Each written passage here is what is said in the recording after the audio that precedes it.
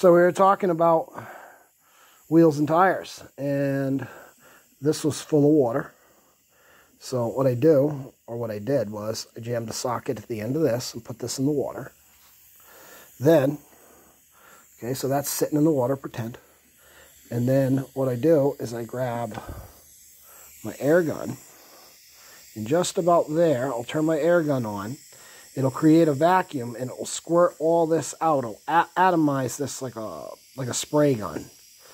It takes a little while and you can't quite get it to go fast enough to siphon, but you got small amounts of water in a tough spot like that you want to get out. Look how beautiful that is. I just wiped that with a rag, a paper towel, I mean, and yeah. So that works great. A little trick for you.